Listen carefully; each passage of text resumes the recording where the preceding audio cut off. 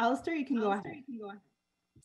Thank you very much, everyone. Uh, my name is Alistair MacGregor. I'm the Member of Parliament for Cowichan Malahat Langford. And I'd like to first start off by acknowledging that uh, we're gathered here today in the traditional and unceded territories of Cowichan people, uh, who I'm very fortunate to have a, an amazing relationship with. And before I introduce our special guest and give him a very warm Cowichan welcome, I just wanted to say a few words about the subject uh, that will be top of mind for us today when I first got into elected politics, I was primarily motivated uh, with helping people. And indeed, before I became an elected official, I worked as a caseworker. And many of the issues that I was dealing with with families across the table really did center around housing.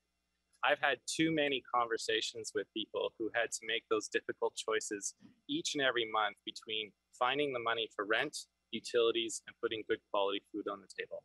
And sadly, that situation has persisted even during the last six years that I've been fortunate enough to be the member of parliament for this area. Housing is one of those key issues that really is a nucleus around which everything else depends. If you don't have access to safe, secure, and affordable housing, really it affects everything else. It affects uh, a person's security in life, their ability to really go out and seek job. And it also has wider ramifications for our community because I'm hearing time and time again from small businesses all throughout the riding that they are experiencing a labor shortage. They cannot find the workers to keep their operations going. Those workers are suffering with an affordability crisis because we have all seen the housing uh, prices here on Vancouver Island have just gone absolutely white hot. They are stratospheric right now. And indeed, many people, I hear stories all around the riding of people getting sometimes more than $100,000 of their asking price. So there is a very real crunch, and the problem is all along the continuum. So it's a big issue. It affects people not only who are housing insecure, but also those people who are trying to get into the market for the first time. And despite some of the efforts that we've seen at increasing the supply, the affordability is, is such a huge factor because people have not seen their wages rise measure it with the housing price increase. So uh, that's why it's a huge issue for me. It's why it will continue to be a big issue for me. And I think that the people of Cowichan Malahat Langford need someone who's going to continue making sure that this issue is, is a big one, not only for our riding, but for our province and indeed for our country. And with that, uh, it's, it's indeed my great pleasure to formally introduce NDP leader Jagmeet Singh, uh, who has spoken uh, far and wide on this topic and continues to be showing great leadership uh, on this from coast to coast to coast. So with that, Jagmeet, welcome to the Cowichan Valley, and thanks for being here today. Thanks so much, Alistair. Uh, I want to thank Alistair for the great work he does in the riding, fighting for for people. And this this particular problem is is a huge problem. We know that housing is a crisis, and it has been a crisis before the pandemic, and it has only gotten worse during the pandemic. We know that there are so many people that cannot find a place to call home, whether it is rent or to own a home. And I've spoken with so many people, and they tell me heartbreaking stories about how they want to stay in their community. They want to stay in the communities where they've got friends and family and connections and their work, but they simply can't afford it. I remember speaking with the family when I knocked on their door and I was asking them, you know, what is their biggest worry? And they told me housing, and they lived in a home. So I, I was wondering what they meant. They said, well, our, our daughter is a professional. She's working hard, but she cannot afford to find a place to call home and they asked her to come up and she was living in the basement and i talked to her. She was a teacher working for six years had a great job but was considering leaving her community because she couldn't afford to stay. And that should not be the way things are. So we are committed to making sure we fix this problem. Reality is under six years of justin trudeau being in government things have gotten worse. We've seen the rate of increase of housing prices increase the highest in all developed nations here in Canada. That means the worst track record of housing prices increasing has happened under the six years of Justin Trudeau being in government. That is wrong. We are committed to solutions. And some of the solutions are tackling the pressures that are driving up the cost of housing. So, stopping the speculation where Canadians are having to compete with foreign investors to buy a home. We need a foreign investment tax federally. We also know that house flipping is driving up the cost of housing. We've got to stop that as well. We've got to stop those pressures that are driving up the cost of housing. We also have to build more homes that people can afford, homes that are in people's budgets, whether it's to rent or to own. We need more homes. And that's why we're committed to building half a million or 500,000 new homes that people can afford. Uh, this will make a big difference here in Cowichan Valley, on the island, and across Canada. It'll create jobs, it'll be a job stimulus, but also build homes that people can actually afford. We need to get serious about this. In the past, we have. After the world wars, Canada made a decision to build homes, and we built hundreds and thousands of homes that people could actually afford. We need to do that again. That's our commitment to you. And I want to thank you all for, for being here today and ready for the questions you might have. Back to you, Nina. Merci beaucoup. Merci Thank you very much. Very much. Uh, if, if, I members, I invite members, if you have a question, question use the raise hand function on Zoom. On Zoom. We'll take three questions virtually, and then we will go. We'll go. Uh, alors, j'aimerais inviter la fonction lever la main, poser vos questions. Uh, et nous allons commencer. We will start with Matt Gray with the CTV. Please go ahead. Hi, Mr. Singh. Um, today, you're in BC launching a little tour. Uh, the Prime Minister is also in BC, and he has one of your strongest political allies, John Horgan, at his announcement today. Uh, and he's been quite complimentary of the Prime Minister and the work he's been able to do. Are you disappointed Premier Horgan's not with you today in BC, instead uh, supporting the Prime Minister? No, not at all. Uh, and I'm also not surprised that Justin Trudeau chose to make an announcement around childcare here in BC the NDP government, like NDP governments across Canada, have been the ones that have done the heavy lifting to actually bring in affordable childcare. They're the ones that have led the charge. Where Liberals have been promising childcare for decades, New Democrats have been delivering. And it's a great contrast to show a premier who's actually getting the job done with a prime minister who's all show. And I want to point out something. If this prime minister, if Justin Trudeau is serious about childcare, well, we have a test coming up in a couple of months if the prime minister is serious about getting childcare done, we want to make that happen. We are absolutely yeah, supportive of making sure we've got universal, accessible childcare. In fact, we want to make that happen. We want to call Trudeau's bluff. If he wants to make this happen, let's get it done. We've got two years on our mandate. Let's make this happen. But if Justin Trudeau calls an election in the next couple months, then we know it was all for show. We know that it wasn't something that he meant to do. He just wanted to do a flashy press conference, but wasn't interested in actually delivering the childcare that people need. So the test is going to be in the next couple months. Was this all for show? Or is he serious about getting things done? If he is, we are here and we are ready to deliver the childcare that Canadians need. Mike, you want to go ahead with your follow up? Yeah, thanks, Nina. Uh, uh just respectfully, Mr. Singh, I, I don't know how you can call this show. He's signed a deal with the BC government, and one of your strongest allies, Premier Horgan, was the first premier to sign on to it. So how can you call the prime minister out for saying that he's all show on childcare when he's just signed a deal with one of your strongest political allies to get a what would likely be a major campaign promise checked off for him? Well, well, the answer to that is if he calls an election in the next couple of months, how is there going to be follow through on this? he is jeopardizing that entire plan. Uh, if he calls an election the next couple of months, this is for show. Like all the bills that he introduced right at the last moment, right at the end of session, knowing that he was planning an election. And I want to highlight this. If the prime minister actually wants to follow through and develop the program and make sure there's legislation and make sure there's funding, we need to continue to work in Ottawa to make that happen. And I want that to happen. I would love for this to actually be serious and a real commitment. But again, if the government goes to an election, then it undermines that promise because it's not going to be able to continue while we're in an election. Work won't continue. If the outcome is not not something that continues the same work, then he's jeopardized that work. So again, I make my claim very clearly. If the prime minister calls an election, then this announcement is all for sure. We've seen the prime minister sign deals and make announcements in the past.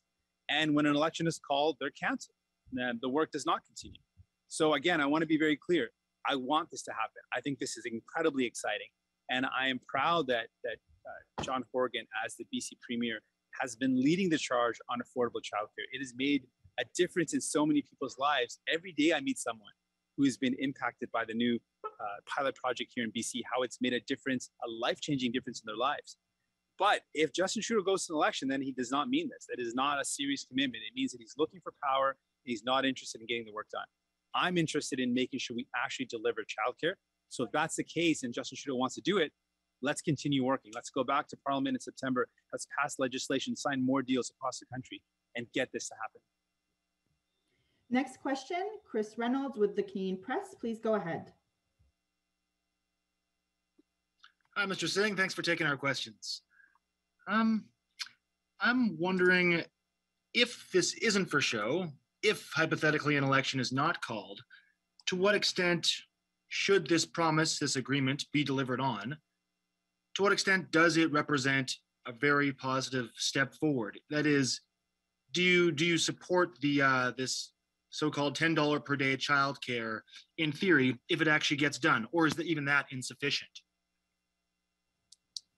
You Democrats have been championing universal childcare for for years and years. We believe in this. We ran our campaigns on this. So we are excited about making sure this happens. I would love to see this. I know the difference it can make.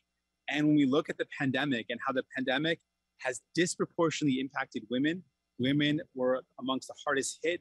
They are the ones that lost their jobs and now can't find childcare to go back to work. We've seen a loss in some of the gains that were made to the point that women's participation in the job market is the lowest in decades, the lowest since the 90s. So we need to invest in childcare, and I want to see that happen. And I'm excited to see that happen. And if Justin Trudeau is serious about this, you can count on my support to make sure we move forward in delivering more childcare to more Canadians across this country. But if he doesn't, and if he goes to an election, again, this is another example of Justin Trudeau being all for show. Just like he ran a campaign in 2019 on universal pharmacare, talked about it in the throne speech, made a commitment, and then we brought forward legislation based on his own commissioned report that he voted against. We brought forward legislation that was in completely in line with what his own government commissioned a report and found that that was the step forward, and he voted against that, really saying it was all for show. He wanted to do pharmacare in the election as a campaign announcement. He wanted to do it in the throne speech again as a show. But then when it came down to actually taking a step, he chose the side of big pharmaceuticals and hurt Canadians. I don't want that to be the case this time. And that's why I'm very aggressive in calling out this bluff. I don't want this to happen. I think this is a great opportunity. Let's actually deliver the help that people need instead of just an announcement and just doing it for show. Let's continue to work. Let's not go to an election and let's do the work in September to make this a reality, not just in BC, but across Canada. Um, earlier today, uh, Nunavut MP Mumilaaq Qaqqaq and Ontario MP Charlie Angus called for a special investigation or a special prosecutor to conduct an independent investigation into the harm done by residential schools and other institutions, including sanatoriums or sanitariums. Uh, I'll have to look that one up. But I'm wondering to what extent is this necessary uh, even after the Truth and Reconciliation Commission? I think this is a powerful step forward in, in addition to the Truth and Reconciliation calls to action. This is accountability. There are people that are responsible for institutions that resulted in the killing of Indigenous children. And we are still reeling from the discovery of unmarked graves. And I was talking to a friend, just kind of reflecting on what this means for people that went to school in an elementary school here in the Cowichan Valley or an elementary school anywhere in BC or in Ontario or Quebec. There are no grave sites at schools. And it is not a coincidence that there are grave sites at these residential institutions. They were designed to kill kids. They were not designed to raise them or to teach them. They were designed to strip them of their identity, their language, their culture, and their lives. And that's something that that demands additional steps of accountability and appointing a public a special prosecutor to to have that accountability is a powerful step forward. But again, I would also add to that we need to see this liberal government implement all the calls to action of the Truth and Reconciliation Commission. They promised, Justin Trudeau clearly promised to implement all of them six years ago and has only done a fraction of them. So there's a lot that we need to do. But this additional step is something I think very powerful and would walk the path of reconciliation with real accountability. Thank you. Thank you very much. Next, we have Mary Brooke with Island Social Trends. Please go ahead. Hi, Jagmeet. Um, welcome back to BC on the island. Um, so I'm looking at your housing uh, supply suggestion, and as you know, that's a municipal, provincial, and federal mix in getting housing going. and the costs of supplies for houses have gone up recently because of um, COVID and the wildfires, lumber costs more. I'm just looking, will what will be your direction for a solution? Will it be, will you be presenting a bill in the fall in, or when it comes time in the House of Commons? And will you work with FCM to also get um, their backing? Thanks, Mary, for the question and, and great to hear your voice. Uh, absolutely, we think this is something we need to be a partner with all levels of government. But what we've seen over the past number of years is that there has not been federal partnership. Since uh, the 90s, we that's the last time we saw real investment in CMHC in terms of building homes. And since then, we've not really seen any new cooperative housing or not for profit housing or federally funded projects. So there's been a big uh, gap in terms of the investments at the federal level. Uh, we've seen municipalities step up and try to be innovative. We've seen provinces like BC do their best to try to increase more uh, opportunities for housing, but we've not seen that same commitment at the federal level. And so that's why what we're calling for is a really bold investment, a two pronged approach. One, really tackling the speculation with taxes on foreign investment uh, on housing. So, similar to what BC has done provincially, we want to put that in place federally. So, people don't just jump jurisdictions. We want that across the country.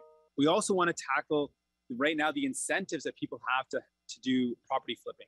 It is right now incentivized by our tax system for someone to buy a home, to fix it up, and to flip it for a lot more. And it's driving up the cost of housing. We don't want housing to be a commodity. We want it to be a place for people to call home. And we can do that if we put in the right policy. So, on one is tackling the speculation and the forces that are driving up the cost of housing. And on the second, on the other hand, we need to really invest massively into projects with the pro- with provinces, with municipalities, listening to FCM, who laid out a really strong course of what needs to be done in terms of building more housing. But we need to see that federal leadership, and it's really not been there. We need to see bold and massive investments in building more homes that people can actually afford. Thank you very much. Now we will go to in-person questions. Uh, Andrea, if you can help me just identify if someone has a question in person to uh, please identify themselves and their media and ask their question.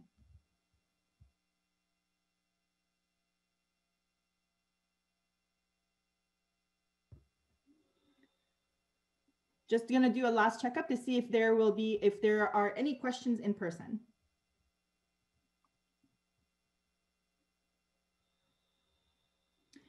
Okay, so we will go back to Zoom. I just want to check, is there any other questions? If you have a question online, to please use the raise hand function to ask your question and follow up. Si vous avez une question, veuillez s'il vous plaît utiliser la fonction lever la main pour poser votre question et question de suivi. So we will go ahead with Mary Brooke once more. Please go ahead. Hi, Jagmeet. So um, also on housing and with this heat dome and heat wave that we've had recently, I'm just wondering if there could be some federal standards put in place for cooling and ventilation in homes, because that has proven to be a deadly situation in BC anyway with the recent heat dome. What would you, what would your NDP party do in that direction?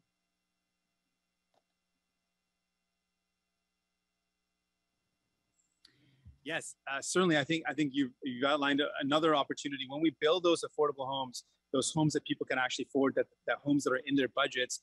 We need to make sure that they are um, low emissions. That these are homes that are leaving a, a low carbon footprint, but also homes that are designed for the realities that we're up against. We know that FCM has said that they need funds. Cities need funds to be able to put in place proactive solutions to the impacts of climate, the climate crisis. So putting in place things that will help protect cities and communities and municipalities. Similarly, when we build homes, we need to build them so that they are equipped to deal with the potential increase in temperature, that they are equipped to deal with the realities of what, what those communities need. And uh, potentially with increasing temperatures and increasing heat waves, the reality of those heat waves have to be incorporated into the plans when we build these, these homes that should be sustainable and should be low carbon footprint and help reduce our emissions, but also be homes that can actually function for people in all communities.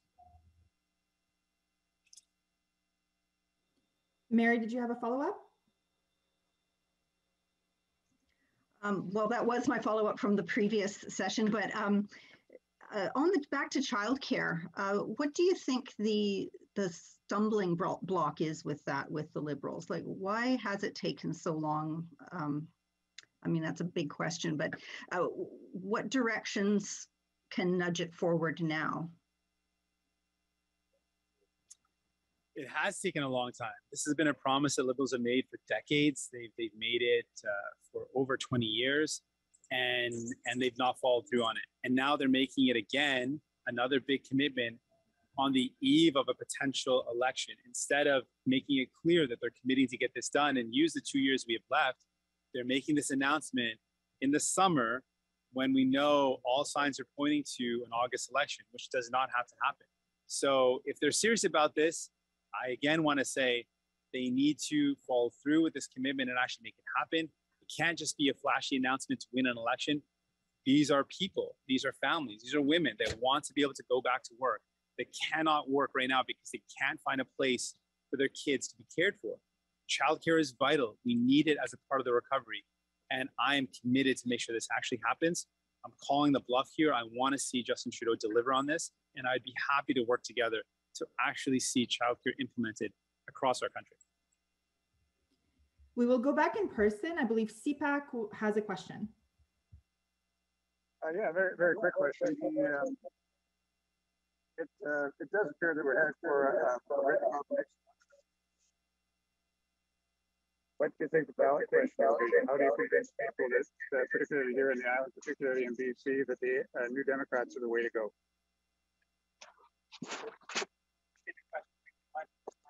What we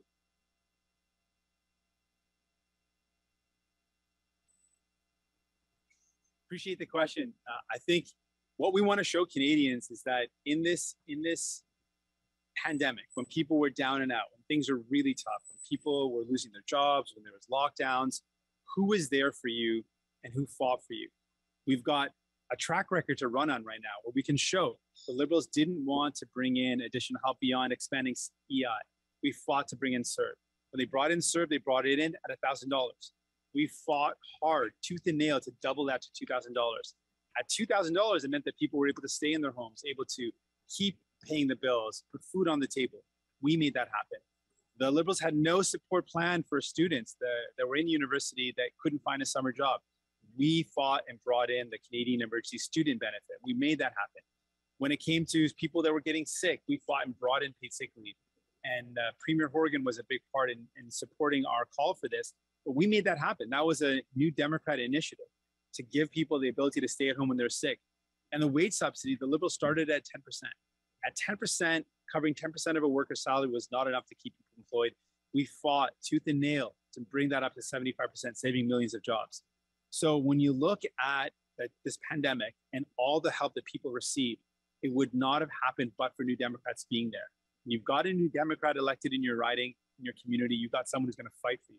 So what's in it for people is that when you have New Democrats, you've got allies. They're going to fight for you in Ottawa. Conservatives can't point to a single victory, despite being the official opposition. They've got not a single thing they can point to that they fought for or pushed for to make people's lives better. It was New Democrats that drove all the positive changes that improved access to help for people.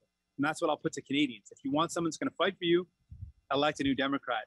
If it's here in the Cowichan Valley, I'd encourage you to vote again for Alistair MacGregor and across Canada, vote for New Democrats who are going to fight for you to give you and your families the help you need. Uh, is there a follow-up from CPAC?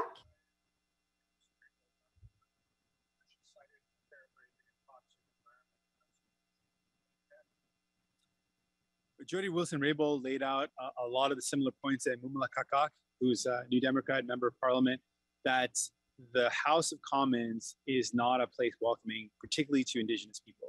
And that is something we've got to change. And the reality is, when the House of Commons as an institution has been responsible for a lot of the decisions that have harmed Indigenous people, there's a lot of work that needs to be done to make sure that place is welcoming to Indigenous voices and Indigenous people.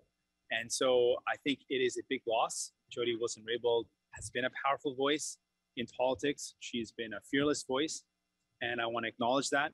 I know she will continue to be a powerful voice in this country, and uh, it is a loss though for for everyone the fact that she won't be running again.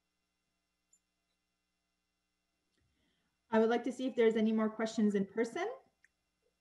That's good. It's good. I'll jump in, but I got muted there. I would say New Democrat, absolutely. I'm good. Yeah. We're good, Nina. You're good too? All right. I'm just going to do a one last check online to see if there's any more questions.